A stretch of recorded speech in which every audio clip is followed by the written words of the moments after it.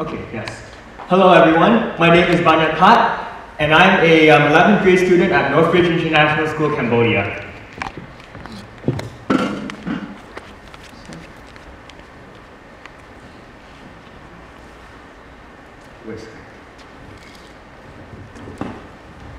Okay, and the major issue that I want to talk about today is the development of technology that is responding to the issues of climate change that's happening today.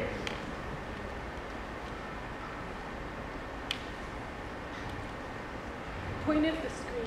Point at the screen? Okay. Oh, thanks. Ah. So, what is climate change? Climate change refers to the rise in average surface temperature on Earth that's recorded over a long period of time. Um, currently, the consensus, although there are people who don't believe in this, is that the cause of climate change is due to the extra emission of greenhouse gases into the atmosphere, causing what is called the enhanced greenhouse effect. See? As you can see in this, um, in this graph, as the one particular greenhouse gas, which is carbon dioxide, as it increases, the, energy, uh, the average temperature also increases along with it too.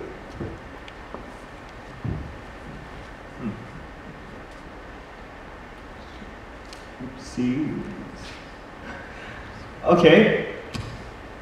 Climate change is having a profound impact on um, the rainfalls and droughts that's happening in Cambodia. In fact, this year's drought has been caused by the El Nino weather pattern. However, according to the government, this year's drought has been described as the worst. The worst.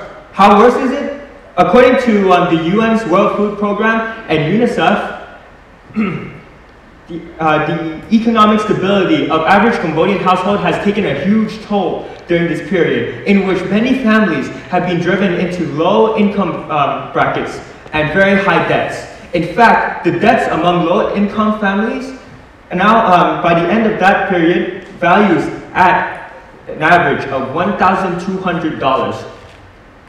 Additionally, two thirds of the country's provinces ran out of water for drinking and irrigation.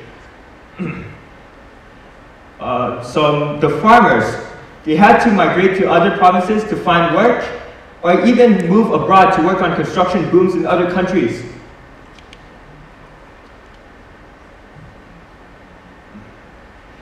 Additionally, schools in, uh, schools in Cambodia are also being affected. In Ratanakiri, in the far north, um, 136 out of 203 primary schools have suffered from water shortages, leading to huge absences in teachers and students. This is, this, all these effects is ridiculous, but however, but scary enough, this effect of climate change is still intensifying. So, who's the cause for all this climate change? Well, it's all of us. As individuals, we want to live our lives in the fullest. And don't get me wrong, okay? We want to live in a good house with good AC. We want a new phone, new gadget, new Lamborghini. Uh, we want very good internet where we can't really find in Cambodia. Yes, we all we want all those stuff, but these stuff must be produced at the uh, using energy. So, what are the types of energy sources?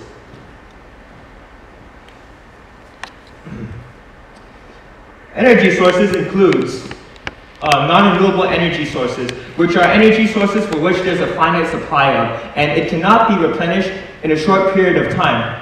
Non-renewable energy sources includes fossil fuels and nuclear fuels. Fossil fuels in particular work by combusting uh, fuel, which, uh, however, this releases greenhouse gases that contribute to the enhanced greenhouse effect, and this is something that we do not want. So therefore, obviously, to um, combat this, we should be using renewable energy sources, which are sources of energy for which uh, that can be replenished in a short period of time. One, uh, one particular renewable energy source that I want to talk about is solar, uh, solar energy. Solar cells, also called photovoltaic cells, function by using sunlight in the form of photons to create electricity voltage. So this is how it exactly works. Consider an atom. When a photon strikes an atom, it knocks an electron loose. This loose electron um, has a movement. This movement of electron causes um, an electric current. And this effect is called the photoelectric effect. In fact, solar cells, they utilize this photoelectric effect in order to create energy, electricity. So how does it do it? So solar cells are made of semiconductors, especially silicons, which have been treated to have a positive polarity on one end and a positive uh, and a negative uh, polarity on the other end. When joined together with electrical conductors attached on both ends, uh, electricity uh, from the photoelectric effect can be, uh, will be conducted by this electric current, I mean the electric circuit. Um, this allows for us to use this electricity for utility. So, what are the advantages and disadvantages of solar energy and PV cells? Solar energy is very abundant. We have access to it for another 6.5 billion years, according to NASA. In fact, every day we receive 120,000 terawatts of sunlight. That is 20,000 times more energy than needed to supply the entire world. And additionally, we can't overconsume solar energy. I mean, yeah, doesn't that make sense? How do you overconsume the sun? Yeah. Um, PV, uh, PV cells, PV modules. Modules are just um, an array of cells that are grouped together. Um, have relatively lower energy payback periods. So it takes from half a year to 1.8 years um, to pay back the energy cost. How, um, compared to coal, which will take one to two years, or even nuclear low-grade uranium, which is 14 years. And uh, additionally, it has an expected uh, lifetime that is comparable to other energy sources. Uh, so this sounds very amazing. I mean, if solar cell technology is that good, then why doesn't anyone in Cambodia not want to use this technology? This is because uh, this, the people here in Cambodia are not as aware of this technology due to these following disadvantages.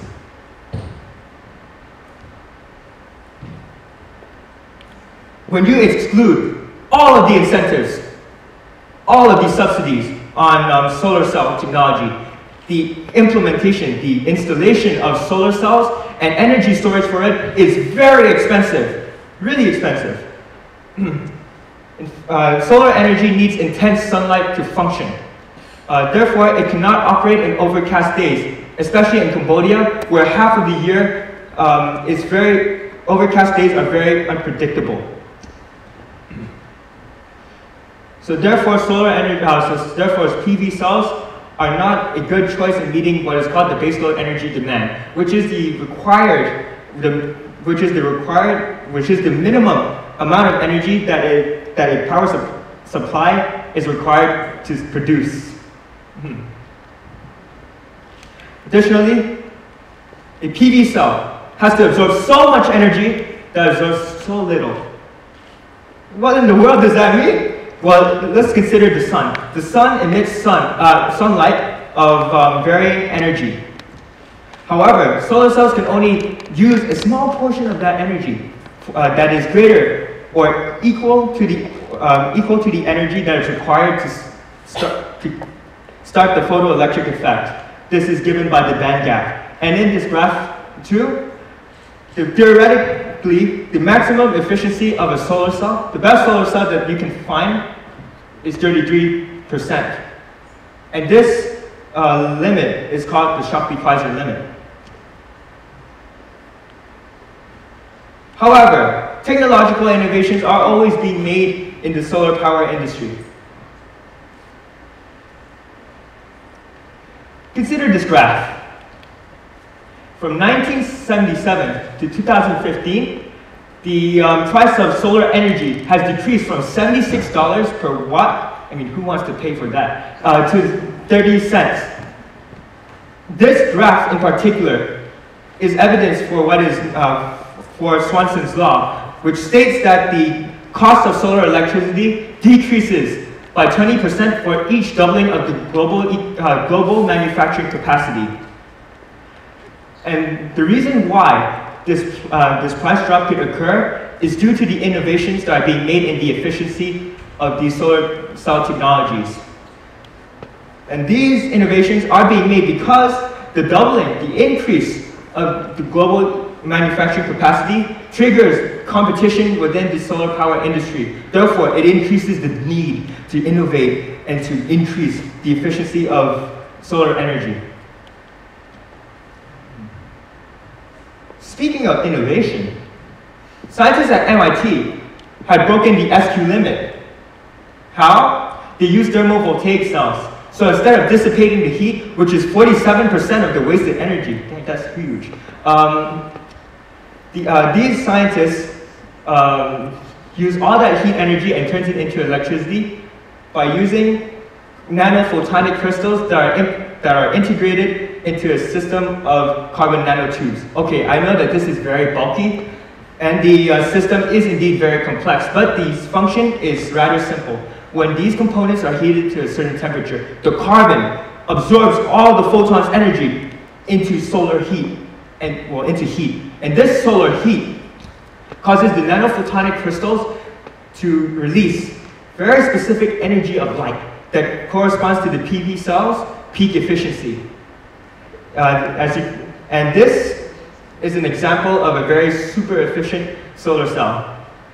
Remember just now when I was talking about baseload energy demand, in which uh, solar cells are not reliable in fulfilling that job? With this innovation, um, so, uh, with this innovation, a solar cell can absorb so much energy out of so little sunlight. And this is going to be very useful in operating in rainy conditions and um, cloudy conditions too. So therefore, once implemented, this will make solar cell technology a more viable option for meeting baseload energy demand. So, now let's answer the question. With all these innovations that are going on, has science done enough to solve climate change?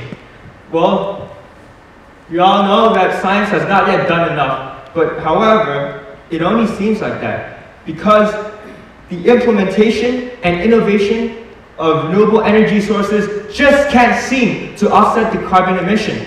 However, remember this thing, uh, remember this, science is definitely accelerating on the right track.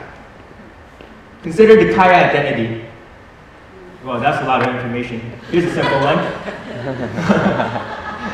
As the world population increases, the global economic production also increases. Oh, come on. Therefore, uh, since the global production, uh, global economic production increases, the energy, more energy is being consumed to, to fuel this economic growth. However, to minimize costs of producing uh, these, uh, for producing, um, uh, improvements in energy efficiency of existing technologies uh, are being made, which decreases the energy consumed or energy intensity.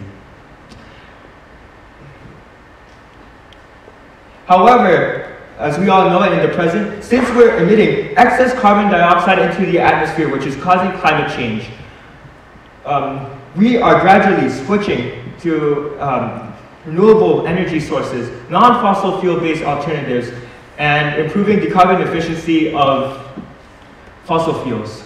So therefore, the carbon emission, um, carbon dioxide emission should decrease as well. In fact, in the future, since there is not actually a very big demand for this, the carbon emission will reach a near zero at some point. But this is only a projection. So what now? How do we reach this zero emission vision? Well, this is done through innovation uh, and improving the way we produce uh, uh, energy. For example, in the case of solar cells, we can improve the way, I mean, we can change the weather, okay? I mean, hey rain, please, um, please stop right now. You can't do that. Well, well, in fact, we can actually change the way we produce these solar cells by making them more efficient. However, this won't stop the fact that people in Cambodia still aren't keen and aren't aware of this technology. So therefore, it all depends on how we all as a community get together and enforce STEAM. How much we can fight climate change is not dependent on what the scientists do, okay? Scientists, there's so little scientists compared to the world uh, population, okay? It doesn't matter what the scientists do. It um, the, the way we fight climate change is to bring everyone together. And by doing everything together, collaborating, uh, collaborating as a community, we can build a sustainable uh, green energy future right here and right now, starting from today. So, what can you do? Well, be a part of that change. You can reduce your carbon footprint, but well, be honest, okay? Do you guys think that you actually are in decreasing your carbon footprint? I bet not. Okay? However, sh uh, people should be getting together to do more service projects. In ISPP, you have the Environmental Action Committee, who has successfully proposed um, for the installment of solar cells in school. And this is, the point of this is to promote uh, better practice of, better um, practice of, uh, yeah, better green energy practices. Uh, and I am the leader of the NIST STEAM Club at my school. I do projects to motivate students' interest in STEAM. Um, this is because we need to get more students more involved in STEAM in order for them to become more aware and, uh, and more, uh, more aware, in order to make them to dare to innovate and deliver the changes that we need for today and tomorrow. Um, so if there's like one question, I would like to leave this question for you. What will you guys do for tomorrow? Yes, thank you.